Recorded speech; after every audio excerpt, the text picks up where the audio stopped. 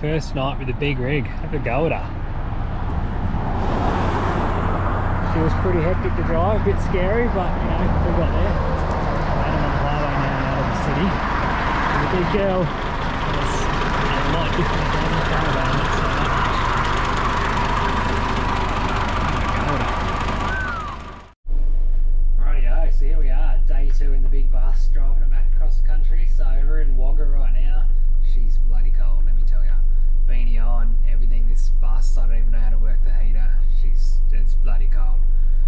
just stopped in, grabbed a grabbed a coffee. That's uh, that'll get me going for a few hours. Um, I'll probably I left camp at about 4.30 it was just so bloody cold sleeping in the bus last night. So I left at about 4.30 got to Wagga about 6.30 which it is now. Um, and then yeah I'm to try and meet up with Tarsha today down in Barra near in South Australia there. So it's about 10 hours from here 6 o'clock now. Should get in about 4 should get there I reckon see how we go let you know keep in touch Rightio, Smoko lunchtime on day two. I've made it to Balranald, which is in the middle of bumfuck nowhere between Mildura and Hay, I think. So it's been fair, fair, fair, fair few k's today, punching it out. Thought I'd better stop, fuel up, have some tucker, and then yeah, while I'm here, I'll give you a tour of the of the big rig. So, rightio, so we've got all this stuff in here. I don't know what any of these buttons do. Um, these ones over here, yeah, no idea. That one puts a little fan on up there. How does that bloody thing? At that. How good. She rattles and does all sorts. Um, anyways, here she is. All 61 seats of her. Don't mind my towel just hanging up there and all me, all my, my life just right there. But yeah, pretty much flat floor all the way through. Plenty of these up here that'll just get ripped out afterwards. They won't be lasting very long. Should be a pretty easy uh, easy sort of thing to fit out hopefully. Here was my bed last night. As you can see she was a um, five star hotel. But yeah mate done the job. Freezing cold. That's why I left at four o'clock. So yeah there she is eh? Let's see how this changes in a few months Righty-ho, here we go about five k's out of seeing Tarsha where we're going to stop for the night. We'll have to try and record her reaction. Um, done probably thousand k's today been on the road about 12 hours. It's been a big day but no, it'd be good to pull in and sleep in the swag instead of sleeping on the back seat which was shocking and freezing cold so here we go stay tuned here we go coming into the rest stop where Tarsha is let's see what she reckons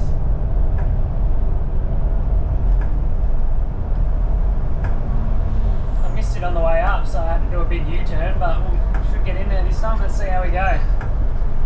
Still don't know where the bloody hell it is. Righto, there's a sign.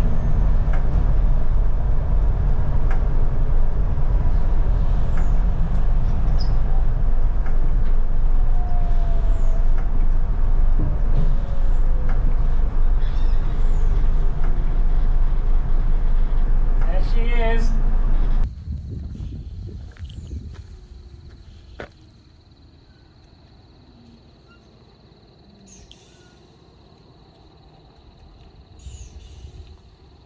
Just park like over here.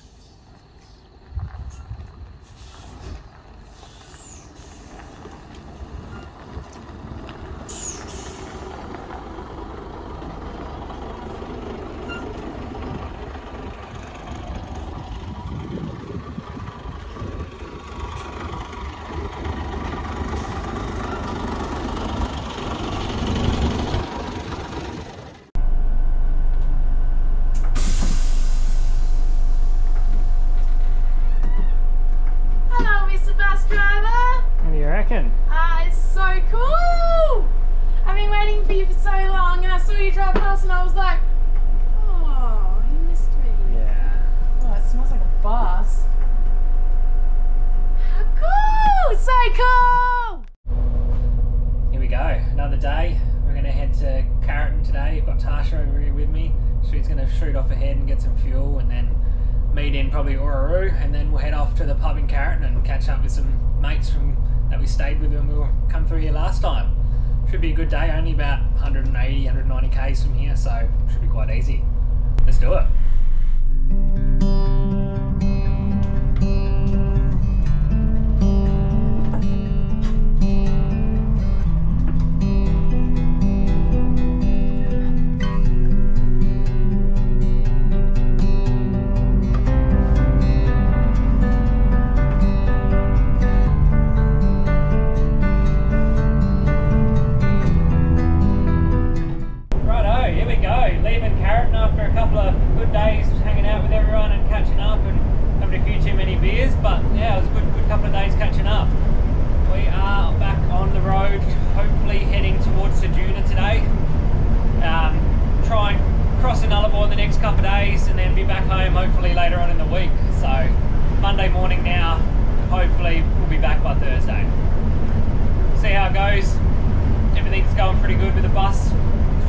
Getting it going this morning. A bit cold. I was a bit cold.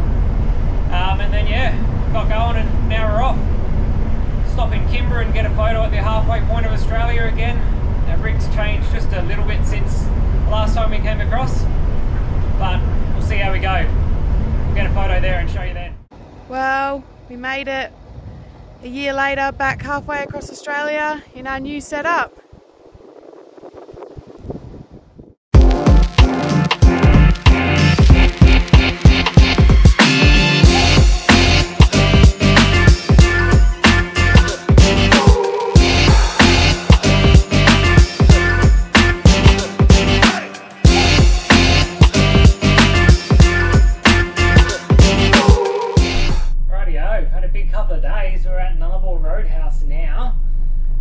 Stopped and Tarsha got some fuel and just had a little wander around and had a shower and stuff. Left Carrieton yesterday about, I don't know, 9 o'clock or something, and then we ended up rolling into Ceduna, just outside Ceduna at a camp called Cohen's Old School, just out of Penong actually it was. We pulled in there about 6 o'clock, massive day, had a shit of a day. Felt like absolute shit all day, just aching, and I don't know, got COVID again from bloody Carrieton or something, who knows. But yeah, struggled all day, fought everything all day, it was shocking. And then we pulled in and I just went straight to bed. Tarsha had some dinner and then that was it. And then this morning we got up and had a good little morning. We've done a couple hundred Ks already and got to Nullarbor Roadhouse, got a few photos and we'll just carry on and try and get to, I don't know, Cocklebiddy or somewhere like that today. So see how we go. We'll have lunch soon at probably somewhere on the Bight, get a nice photo and keep plugging along. Had a bit of an issue with the uh, bus. We had to up with some more coolant and everything like that. I was checking it, but it just started to get a tiny bit hot, so we thought pull over, top her right up, and yeah, off we go. Good, good to go again. So all's going well, and we'll keep plugging along. Only got about 1700 k's to Perth. Yep.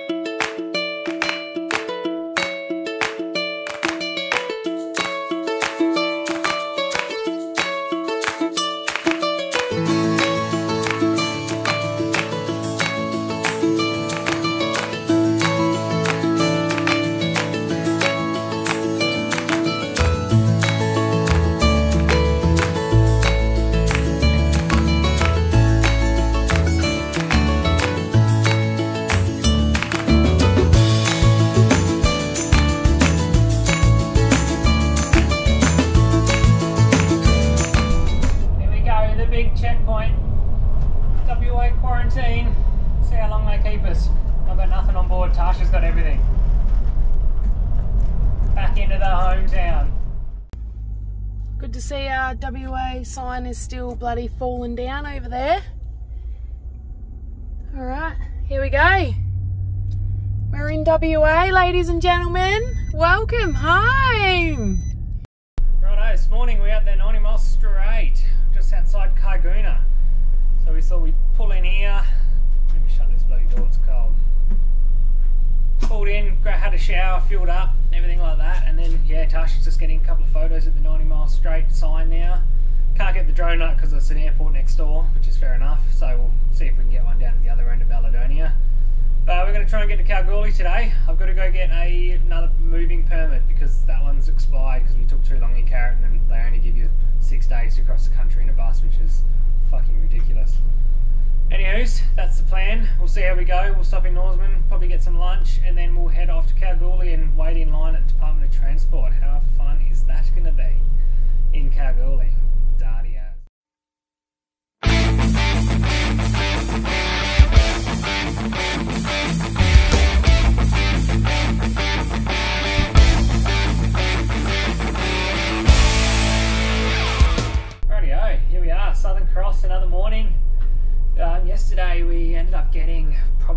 100 k's out of Coolgardie with Perth Way, which is really good. Um, got to Norseman about lunchtime, and the day before I spoke to Shire of Dundas to get another moving permit for this bus because it run out yesterday. And um, they're like, nah, nah, you can't come in here because um, we got a power outage and I don't know, some rubbish. So I was like, whatever. Thought I'd give him a call anyway when I got into Norseman the next day. Gave him a call, no dramas at all. Just went in there, everything was open. There was no power outage. I don't know what the person yesterday was talking about, but anyway, he's got another moving permit for 48 hours, so that gives us another two days to get back to Perth and do whatever I need to do around there. So that'll be more than enough time. I, we'll get back today easily. Um, then yeah, so we I ended up having lunch at Norseman, then got fueled up, and then punched on out to yeah, about 110 k's west of Coolgardie, and there was a nice camp there. Had a camp there, and yeah, had a fire and cooked some steak on the fire, and had a bloody good night. So that was good. Then this morning we've got up and just got to Southern Cross now, just down the road from where we camped, and get some fuel. Tash will get some fuel and get a coffee and try and have a shower here or something, and then we're about 400k from home.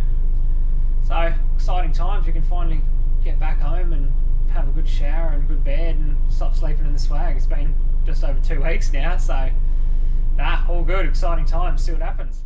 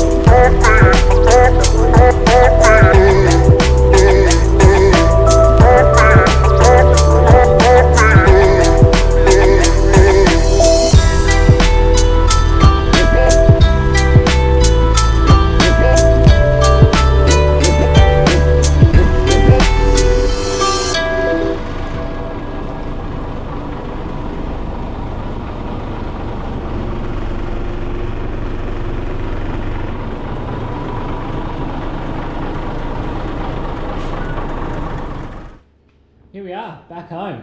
So I thought I'd give you an update on yesterday. Um, left, what, Coolgardie in the morning, went and had a shower in Southern Cross and did all that stuff, had a good coffee in there, and then drove all the way back home. Coming down Mundaring Hill with all the traffic was uh, was entertaining. That wasn't really the issue coming down the hill. I was worried about is more getting to the sets of traffic lights and stuffing up gears and all the stuff, which I only did once. I was quite happy with that. Got the finger from some Midland local in his Ford Falcon, but you know you expect that coming through the hood. All the way back in, and um, yeah, done, done all right getting into Malaga. Dropped the bus off, dropped the trailer back off at Tarsha's mum's, and yeah, sort of settling in now, unpacking all the stuff and getting all the boxes out and dealing with all that shit, which I'm not looking forward to. I'm halfway through doing it now and got bored and got sidetracked, and yeah, here we are. So yeah, not a lot's going on today. Tarsha's just getting some children's checks done and all this stuff so we can get into some work next week and get back into the swing of things and I can start building the bus. So within a couple of weeks we'll be ripping things out and yeah, doing all sorts of stuff. So it's going to be exciting, a bit nerve wracking, but yeah, it's going to open up a big can of worms that, yeah, I'll deal with. We'll see how we go. So now that we're back home, I thought we better finish off our map, that first little map showing where we've been and all the trips that we've been on. Now that we're sort of going to settle down for a, a couple of months and build the bus, so let's have a look at it. It starts off in Perth there. All the black lines are the caravan and the uh, red ones are Tarsha's trip back and the blue ones will be the bus trip home. So look at that, all the way up through the middle there, circles bloody everywhere. All the way up to the Cape, up to Thursday Island, back down again, all the way down through Brizzy, out through all there, like all the way out, down the coast, Canberra, Melbourne, down to bloody Tassie. Look at all that in there. There's all sorts going on in there. And all the way back across.